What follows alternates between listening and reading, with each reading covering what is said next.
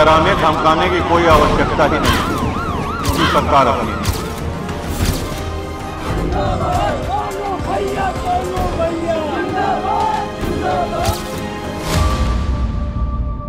कहते हैं, केंद्र की राजनीति का रास्ता उत्तर प्रदेश से होकर ही जाता है। जरा सोचिए, राजनीति की दृष्टि से ये कितना अहम राज्य है। साथ ही यहाँ के राजनेता भी कितने अहम हैं। उत्तर प्रदेश के नेताओं का जब भी ज़िक्र होता है तो अक्सर आँखों के सामने घूमने लगता है वो चेहरा, जिन्हें सियासत के बाहुबली के नाम से जाना जाता है।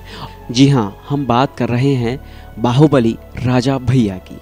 हत्या हत्या की साजिश, किडनैपिंग, लूट और घोटाले जैसे कई मामलों में उनका नाम जुड़ा रहा है। जेल से जिनका पुराना नाता रहा है, प्रतापगढ़ में सालों तक सुनाई देती जिनके नाम की गूंज थी, वो है सियासत के बाहुबली राजा भैया। देश में बेशक राज्य और रजवाड़ों की रियासतें खत्म हुए, सालों बीत चुकी हैं, लेकिन उत्तर प्रदेश के प्रतापगढ़ की जनता आज भी कुंवर रघुराज प्रताप सिंह को अपना राजा मानकर पूजती है।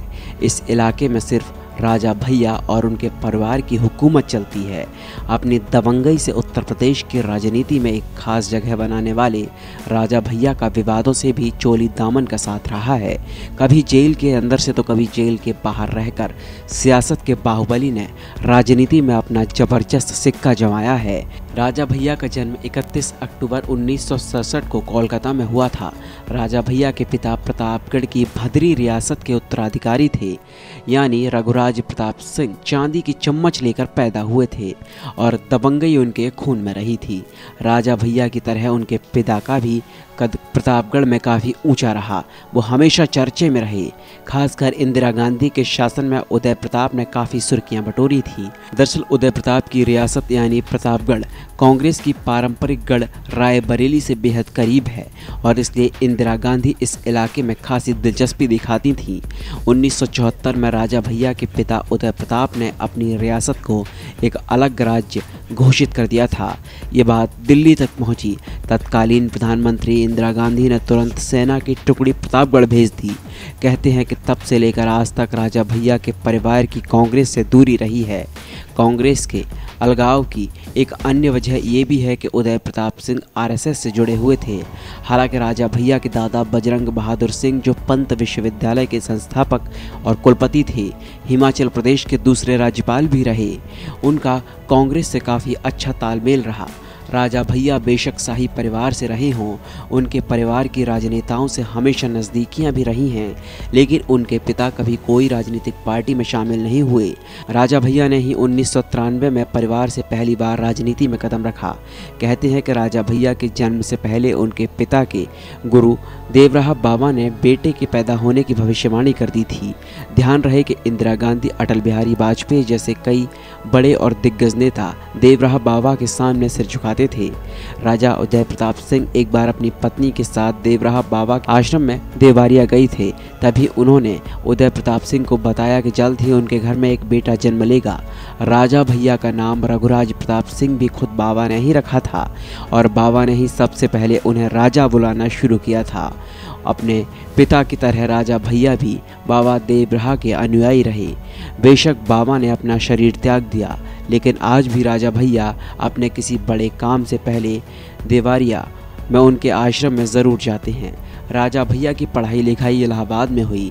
सबसे पहले नारायणी आश्रम के महाप्रभु स्कूल में उन्होंने दाखिला लिया। बाद में इलाहाबाद के ही स्काउट एंड गाइड स्कूल में उन्होंने आगे की पढ़ाई की।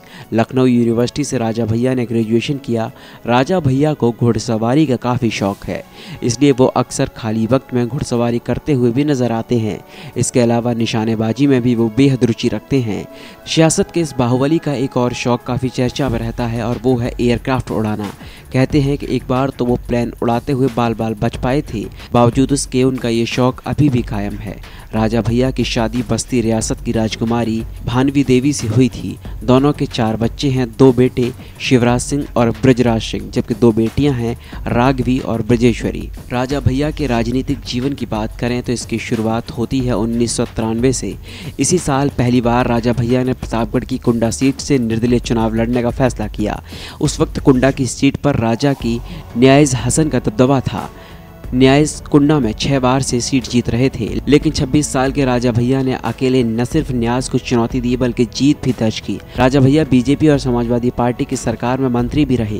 पहली बार कल्याण सिंह सरकार में उन्हें कैबिनेट मंत्री का दर्जा मिला। उसके बाद एक बार फिर बीजेपी की सरकार में उन्नीस सौ निन्यानवे में वो खेल कूद और युवा कल्याण मंत्री बने। इस दौरान वो राजनाथ सिंह के बेहद करीब आए और आज भी उन्हें राजनाथ सिंह का खास माना जाता है। 2004 में जब समाजवादी पार्टी की सरकार बनी तो रघुराज प्रताप यानी राजा भैया समाजवादी पार्टी से मिल गए और उन्हें खाद्य और रसद मंत्री बनाया गया। ये दौर था जब राजा भैया का कद बढ़ता ही जा रहा था। उत्तर प्रदेश में उनकी दबंगई के जलवे थे। एक तरफ़ वो अपनी सियासी ताकत को बढ़ा रहे थे तो दूसरी तरफ़ अपराध से भी उनका नाता खत्म नहीं हो रहा था। रघुराज प्रताप सिंह यानी राजनीति के राजा भैया के लिए सबसे मुश्किल का वक्त रहा जब मायावती की सरकार आई। साल 2002 में बीजेपी और बहुजन समाज पार्टी ने मिलकर सरकार बनाई। इस दौरान राजा भैया पर झांसी के पूर्व विधायक पूरन सिंह बुंदेला ने अपहरण का आरोप लगा दिया।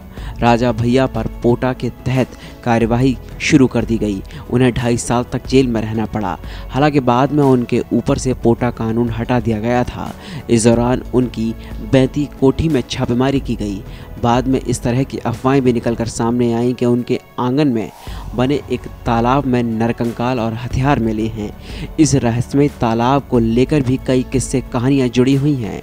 इस तरह की अफवाह सामने आती है कि तालाब में कई मगरमच्छ रखे गए हैं और राजा भैया अपने दुश्मनों को मौत देने के लिए इसी तालाब में डाल देते हैं। कहते हैं कि एक बार पूर्व प्रधानमंत्री चंद्रशेखर से मिलने जब राजा भैया पहुँचे थे, उसी दौरान लालू प्रसाद यादव भी वहाँ मौजूद थे। रघुराज प्रताप सिंह को लालू प्रसाद यादव से मिलवाया गया और फिर राजा भैया वहाँ से बाहर निकल गए। तब लालू यादव ने चंद्रशेखर से पूछा कि क्या ये वही राजा भैया हैं जो अपने आँगन में, तालाब में मगरमच्छ पालते हैं?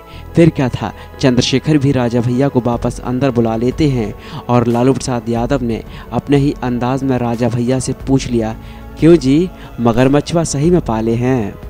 ये सवाल सुनते ही राजा भैया हंस पड़े।